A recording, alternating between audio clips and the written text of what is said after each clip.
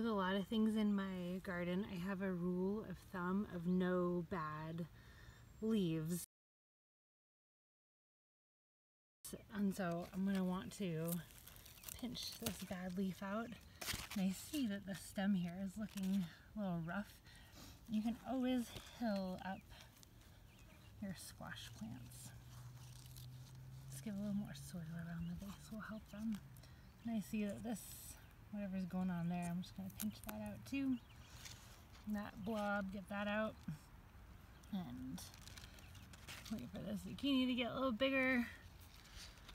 And looking for any other problems in here. Um, I get a lot of questions about this pattern on zucchini leaves, especially on green zucchinis.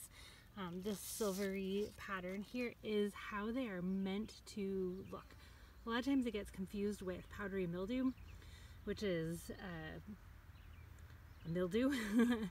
um, and um, the mildew will be all over the leaf and when it is um, meant to look like that it's just right along all the the veins of the plant and it's always kind of stops and ends by a vein where powder, powdery mildew will be a splotch all over the plant with dead plant material like this that has had some pest problems you don't want to put that in your compost and if you have the option of feeding it to chickens. It is great. Um, there's also a goat that lives here. Um, the chickens will eat the insects right off of there and some of the greens and they'll take care of that problem for you. Here looking at my summer squash I see this one formed with um, its blossom end rot. It's usually from a calcium deficiency as well as pests. Sometimes if you pick the blossom off. It can prevent that from happening. And when you see this, definitely want to get that one out. And again, not, you don't want to compost it. Um, feed it to the chickens or put it in the garbage or chuck it in the woods away from your gardening area. Some more squash bug eggs. it's coppery and they're they're pretty glued on there. So sometimes taking a piece of duct tape and sticking them on there or if you don't have it um, just trying to scrape them off um, really smush them been doing this for a decade so gotten used to just doing it with my bare fingers but having your gardening gloves around definitely helps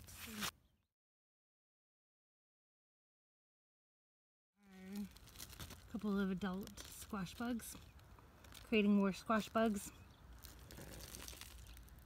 Gotta squish them. Here are some of our potato cages. And, oh, I see somebody crawling around in there.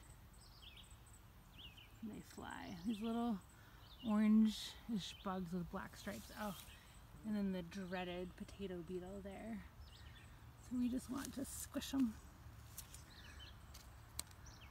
And then also check the underside of leaves for any sign of eggs. Control them early and often. Oh, Japanese beetle.